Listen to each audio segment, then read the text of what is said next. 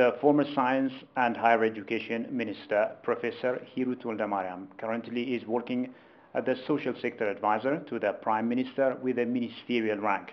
She is also running as Ethiopian candidate for the African Union Commissioner of Education, Science, Technology and Innovation. Ladies and gentlemen, a very warm welcome to our weekly Addis Dialogue. With it, I'm Shifarao Lako. We'll be spending some time with the professor to stay with us. Professor, a very warm welcome to the show. Thank you so much. Happy to be here. Uh, Just for starters, for the people that aren't that familiar with you, let's start with yourself. Uh, tell us a little bit about yourself. Well, I'm uh, the firstborn in my family, family of four kids. And uh, I was born in Debre Marcos, uh, but uh, grown up here in Addis. Well, I went to public school around uh, Kusquam because my father uh, didn't afford to send me to private school. Then I did my studies uh, at Addis Ababa University, first degree, second degree. And then I did my uh, PhD uh, degree uh, in the University of Cologne, um, Institute for African Studies. Uh, it was a joint program with Addis Ababa University. And then, uh, completing my PhD, I came back to Addis Ababa University where uh, I, I, worked. And uh, I actually served in the academia at Addis Ababa University, the premier uh, higher education institution of Ethiopia, the flagship institution, for about 25 years. So I spent most of my life there and grown up there, I can say. Uh, I was really lucky enough uh, not only to uh, work to serve as an academician, as a teacher, as a researcher, and so on, but also got the chance, I mean, a unique chance to serve at the top management level at the university, top leadership uh, group. So uh, actually practiced leadership uh, and management from the smallest uh, unit in, in the university, from the department. I was department head uh, at the Department of Linguistics and Philology. I was the first woman department head, and then I got promoted to uh, uh, to be uh, associate vice president for uh, academic affairs. Again, I was the first uh, woman to take up that position, associate vice president, and then I became uh, vice president of the university, the first woman vice president in the history of Addis Ababa University. On the side, I was also very active with my research projects. I had mm, international collaborative research projects with NORAD, SIDA, and so on. And I got the chance to uh, publish uh, uh, like three dozens of uh, research uh, papers published in peer-reviewed uh, international journals. And I was also uh, traveling around the world and presenting my uh, research outputs in different conferences because of those international projects. Uh, then that enabled me uh, to get promoted, uh, also profession- professionally in the academic rank, from lecturer to, of course, since I did my PhD, assistant professor, and then associate professor, and then full professor uh, of linguistics. So, I mean, luckily I managed to uh, progress in all spheres, in the, the, the leadership, as well as in the uh, professional or uh, academic rank. And it seems for me that uh, my visibility at Addis Ababa University as the first woman vice president and also uh, became successful with my research outputs and so on, gave me the visibility, helped me to be seen by, I think, government uh, body at a higher level. And then it was a call away, you know, I was invited and appointed to serve at a ministerial uh, portfolio, first for the Minister for Culture and Tourism, and then as a Minister for uh, Labor and Social Affairs, and then the third as a minister for uh, science and higher education. That one was very much close to my heart since my background is uh, academia, since I came from uh, university. And I knew, you know, the challenge and the opportunities, especially in the higher education system. I knew problems with the curriculum mm. and so on. So I was the founding minister, actually. I was not just a minister for science and higher education, but I was a founding minister. You know what it means? I had to build up the ministry from ground up. Mm. You know, organize it, staff it, brand it, mm. and, and, and, and yeah, it was really tough, but I successfully organized that ministry and at kickoff, and I use that landscape, that platform to uh, reform the curriculum, to make curriculum review, and uh, uh, add, you know, uh, incorporate a one-year um, first-year program into the curriculum on so, soft skills, soft skills, uh, basic uh, uh, competency, and, and, other skill and technology uh, courses, knowledge courses like, you know, critical thinking, emerging technologies, communication, inclusiveness, history, and more. you know, that was the plan was to align the higher education curriculum with the objectives, socio-economic objectives of the nation, and to align it with the demands of the industry, and to make it fit to the 21st century job market mm. of not only Ethiopia but also, you know, globally, to have competent graduates. Mm. So that was I have initiated a curriculum review, and then I have implemented it. Mm. And that is something that I'm proud of. But there are also other a number of uh, reform initiatives that I have accomplished, like differentiation of higher education mm-hmm. institutions. Mm-hmm. Before, you know, all every university can have a, any kind of teaching program, from BA to PhD in all in any field, you know, regardless of the human resource it has, regardless of the infrastructure, you know, the laboratory, the workshop it has.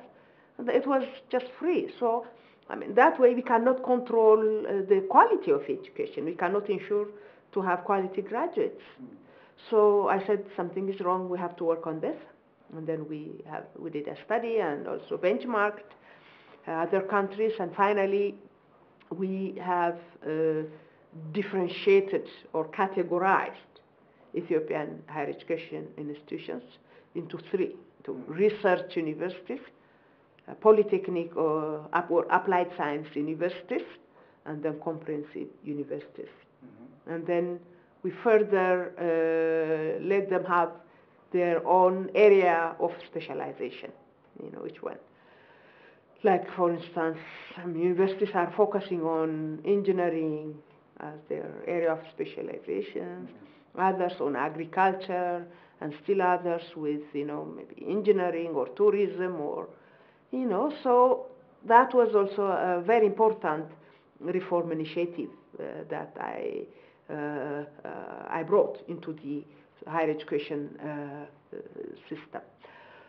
So in a way that um, currently I'm, I'm holding a fourth ministerial position as an advisor to His Excellency Dr. Abiy Ahmed, advisor of social sector because I've been in the culture, labor, you know, tourism, education. Yeah, I have covered uh, quite a number of uh, the social sector areas. So I'm trying to synergize uh, this ministerial portfolios and to, uh, you know, come up with policy um, suggestions and advices. So yeah, very briefly, uh, that's me. By the way, I'm also, I can consider myself as a scientist mm-hmm. because uh, I have published, as I told you, through like three dozens of publications, peer-reviewed articles in international journals, and I'm also a duly recruited member or fellow of the Ethiopian Science Academy. I mean, that's something big. Yeah. And I'm also, uh, I got an award from Alexander Humboldt uh, Foundation as a senior scientist uh, based on what I have done so far. So in any way, uh, I believe that I fit very well to this position, considering my, the qualities and the rich experience in the portfolio uh, that you know I have come across so far. My, my, my path, my journey was uh, very, I can say, intense, very intensive, but then gave me the capacity, the skills, you know, managerial skills, leadership skills, and gave me the strength, the endurance uh, to, you know, uh, prepare me to work at a continental level. I'm also a member of a public diplomacy group of Ethiopia, uh, and I got the chance to go to uh, Cairo years ago with this uh, group, and I got the chance to talk to the, uh, His Excellency President Al-Sisi on, on the GERD issue as a public diplomat. So I have, you know, different hats. That's me. All right. Um, so, uh, as you told me, you, you are a professor of linguistics and philology, and also you have been serving in different top government officials, of course, including uh, recently as Science and Higher Education Minister, uh, in total in four ministerial positions. You also received uh, various awards and recognitions. So taking all these things into consideration, I take it that you can be a good model for you know up, up and coming uh, Ethiopians, especially girls, and ambitious Ethiopians in general. Uh, what's the secret to your success, may I ask, and uh, what should they um, take from you or learn from you? My secret is nothing but hard working, to be honest. Uh, I'm a hard working person. and uh, I'm a quick learner. And I'm good with team building, building team, uh, you know, harmonized team and mobilizing team. So uh, I think I have a, a, track record to mobilize and to establish uh, team spirit in, in all positions I've taken up so far. And of course, I read and I work on self-development every time, you know. I read and I listen to motivational speech, motivate myself, and yeah, uh, and I'm fearless, you know. Uh, that's how my friends call me. I'm bold, and I take opportunities, and I capacitate myself, and, and if I believe in something, I go for it, no hesitation. Yeah, so uh, hard working is, I think, the main uh, element here for my success. I, I work day and night. And I got that from my parents. My father was a teacher, um, high school teacher. He did his, his bachelor's degree at, uh, at Addis Ababa University himself. So he has been always telling us about the power of education, power of reading and writing, and so since early childhood, I was engaged, you know, with this intellectual kind of intercourse, reading, writing, and, and listening, and developing uh, myself intellectually, emotionally. Professor, let's talk about your candidacy for Africa Union Commissioner of Education, uh, Science, Technology, and Innovation. Uh, now you are Ethiopian candidate for this uh, continental uh, position. Uh, what inspired you to even think about this continental uh, position? Since childhood, I've been uh, passionate about Pan Africanism, the notion of Pan Africanism, African Renaissance. Uh, I think because of my um, late father, uh, who used to be a teacher at the high school for geography, geography of Africa and history of Africa. So it was deep inside my heart. But then, when I did my PhD at um, the University of Cologne, at the Institute, Institution of African Studies, I got the chance to uh, meet uh, um, many African colleagues, African PhD students coming from uh, various corners of Africa, and I got the chance to, you know, have conversation with them about the opportunities of Africa, the challenge of Africa, what needs to be changed, what needs to be fixed, uh, you know, and so on. So I think that has also reinforced uh, my dream to serve at a continental level. But actually, uh, I believe that this position, uh, Commissioner for Education, Science, Technology, and Innovation, is a key center for advancement of Africa into prosperous, globally influential, uh, peaceful and integrated continent. Um, I mean, as it's been uh, well expressed in the Agenda 2063's aspirations. So, you know, I believe that it's, uh, it's a huge calling. There is no greater calling than serving the advancement of Africa in its aim to be transformed into prosperous and globally influential continent. And, and I believe this commission is a key since it's only through working on the next generation, educating the next generation, you know, cultivating the youth that we can ensure a better Africa tomorrow. And I believe that there is, you know, uh, I mean, this can only be achieved through quality education, through, you know, fostering and nurturing uh, the deep culture of innovation and technology, Africa relevant technology and innovation. That's the only way for us, you know, to, to advance as a continent as well as as, as, a, as a nation because we have to, I mean, human capital is an engine for economic development. So advancing our human capital through education, science, and technology, um, relevant one, quality one, will give us, will uh, lead us to uh, our destination, to make the best out of African indigenous knowledge of our ancestors. We need to work on our education system and training system, skill development system. And we need to nurture science and technology. Uh, Professor, you are one of the five shortlisted, um, highly ranked top uh, candidates. Tell me about the selection process. Yeah, the selection process was really tough. And the, there was a group, a panel of eminent Africans who was responsible for the screening process. And it's for the first time in the history that African Union uh, decided to make talent-based recruitment for commissioners' positions. There are six commissioners' positions currently. So, I mean, the announcement was uh, opened, and then uh, I prepared the necessary documents and applied. And, you know, they scrutinized uh, the uh, CVs, CVs of the, all the applicants, and then I was selected for the interview. There was an interview, very tough, with the panel of eminent Africans.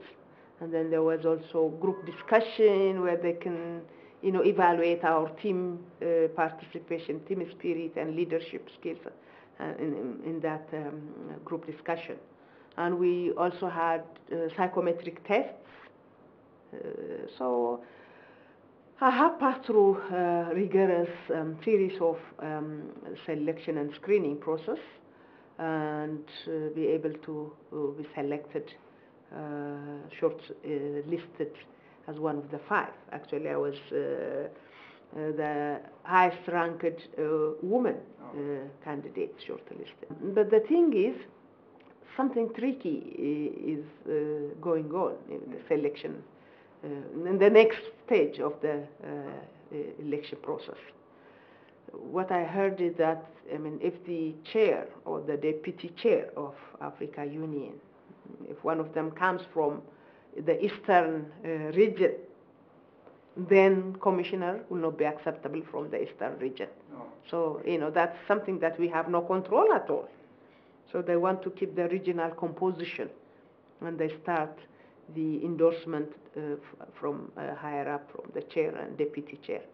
So keep my fingers crossed that, uh, that you know any one of the two positions won't be taken by a member of Eastern African uh, uh, uh, country, uh, but otherwise merit-based, uh, talent-based, uh, I'm in a very good position as endorsed by the panel of eminent Africans. So we're, yeah, looking forward for the final decision to be made in just two weeks' time. Well, Professor, uh, let's talk about your vision. What's your vision going to be like uh, for this uh, African Union Commissioner of Education, Science, Technology and Innovation? My vision is that to enable um, inclusive, Africa-relevant and high-quality education for Africans and to foster deep culture of uh, innovation and technology that can unleash the potential of African youth for the betterment of the continent. And my vision is also to unleash, to unblock the indigenous knowledge of Africa, of our ancestors, you know. We have very rich indigenous knowledge that we haven't tapped well so far. So we have to make the best out of it by blending it with the uh, modern technology and science. So my vision is to unlock African minds for the betterment, for the advancement of Africa uh, in order to fulfill the aspirations of Agenda 2063. My vision is also to empower African youth so that they can convert our problems and challenge into opportunities, into innovations. You know, quality of life of Africans is very low currently. We are doing things manually. Our economic development is unstable because it's not knowledge-based, it's not technology-based. So we need to empower the next generation. We need to unlock the potentials of African youth so that they can transform the continent into the global powerhouse as, is, as it is uh, uh, stated in, in the Agenda 2063. Uh, uh, now let's also talk about this. Uh, if you if you are given the post, what will be your top priorities in Africa or in Ethiopia in particular? If I get elected, I will work towards uh, ensuring access to education for all. I mean, we, we have that rhetoric uh, theoretically, but we have to, be beyond rhetoric, we have to act to make this possible. And the other one is to ensure quality and Africa relevant education, the, the one that uh, fits to the demands of the 21st century, the one that uh, responds to the demands, to the needs of the continent and the member states. So I will call for a bold curriculum reform, actually, if, if I get elected, to ensure, to make sure that the curriculum we have across the continent fits very well with the 21st century job market and needs and demands of the continent. We have to make sure that it will take us to the destination we want to get. Yeah. And the other one is, if I get uh, elected, I'll work toward this revitalization of African universities and African schools. Revitalization and uh, reforming and enhancing them number one, by uh, making sure that we have the ecosystem of education, science, technology, innovation, ecosystem, involves, should involve all relevant stakeholders, the private sector, the industry, civic societies, the community should take part, you know, in the education and training system And the ecosystem should uh, be changed, should be balanced to accommodate all relevant stakeholders and to do things together collaboratively. That way, we'll have quality education and training, and we'll have relevant graduates for the economy and job market. And also, I will work toward establishing um, uh, uh, leading centers of excellence, African centers of excellence. We need those. You know, I mean, uh, we already have some, and we have to enhance them, strengthen them, but we need more important, globally leading centers of excellence for Africa, in, in, placed in different corners of Africa, center of excellence. Like, for example, Africa, Ethiopia, is origin of uh, mankind. We need to have a very strong center of excellence on archaeology, paleontology there, you know. And the whole world, let's scholars from abroad, from all corners of the world should come here to get, you know, uh, training, education, and to do research.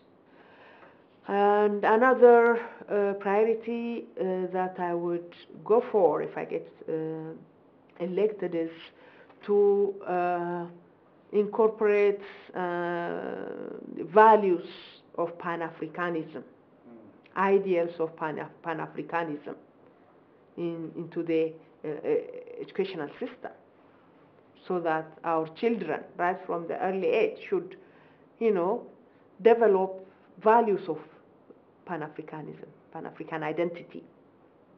They need to have Pan-African identity to know and, you know, go, I mean, grow uh, through it. And I should also, I would, like to go for uh, harmonization of accreditation systems in African higher education uh, institutions.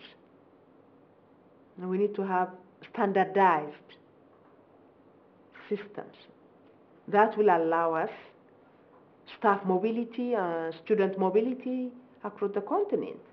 I mean, a student from Ethiopia can go to uh, Nigeria or South Africa and, and, continue his or her education and there if we have, you know, uh, harmonized accreditation system and qualification standard.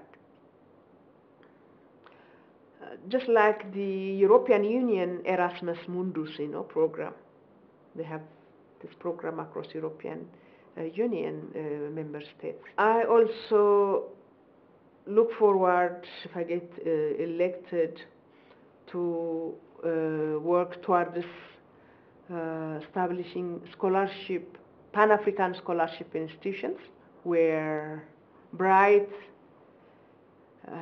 African boys and girls from the various corners of the continent come together, assemble to receive truly African education for the benefit of Africa and do research on African issues so that we can produce the future of African scientists, the future of the next generation of African leaders and African innovators and Afri African craftsmen and women. Another thing that uh, I think we need to focus on uh, is um, having a digitally literate uh, citizens. Everybody should be digitally literate in this world. We have to prepare our youth, you know, to be digitally literate. Otherwise, I mean, look what uh, we have gone through the uh, pandemic, the COVID 19 uh, season. We're still suffering, we're still into it. So, uh, our children, they couldn't make it in the school. Schools and universities were closed. They had to go back home and to follow their education, their lessons online. That in most of African uh, countries, infrastructure was, was, was not there. We have no in infrastructure, no internet, and the kids, they don't have gadgets, and they don't have the skills, the digital skill. So, you know, they, they, they were cut off. They couldn't continue their education in, on this uh, online platform, while the rest of the world has been doing well. So, I mean, this pandemic, we never know how long it will stay with us anyway. No one can predict. And we're not sure if we don't get something, you know, different in, in, in the future. So, I mean, another pandemic, human-made or another crisis. So we need to make sure that everybody is digitally literate and can access to education on different modalities. I know Ethiopia, uh, being uh, uh, one of the founding members of Africa Union and the former OAU, and Ethiopia being the host of this institution in its capital city, Addis Ababa, hosting African Union here. But Ethiopia has never taken up a higher leadership position in this institution. I mean, that's not fair. We're contributing a lot. And we need to take part in the leadership arena of this uh, prestigious institution, African Union. And I'm looking forward to take up this commissioner position for education, science, and technology and to make a difference. Finally, let me ask you this question. Uh, what's your view about Africa and also transforming it into a better developed continent? Mm.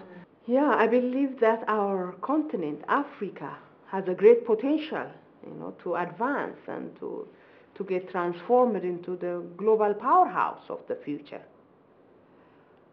I say this because Africa has uh, all what it takes. You know, it has the largest, youngest population ever in the planet. We have the largest, energetic, dynamic youth in our continent, which is not found anywhere else in the globe. You know, and we do also have plenty of natural resources in this continent. Also, Africa is located on a very strategic place and position. So that's also another advantage for us.